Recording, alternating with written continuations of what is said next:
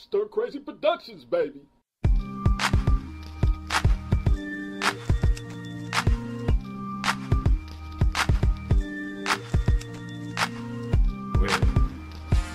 Hi, this is Tony Farmer, former NBA player. I'm here to tell you about an exciting new show coming to the WGN network out of Chicago.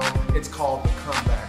We're going to go into the lives of former NBA players, Major League Baseball players, NFL players, hockey players, celebrities, entertainers, musicians. We're going to talk to you about how they've made millions and millions of dollars, and for some reason, they've lost it all, but they're making a comeback in life. We're going to also take you into their lives of those who haven't lost it all.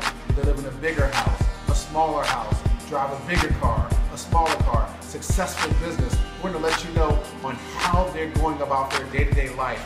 Be sure to tune into WGN Network and watch the Comeback Show.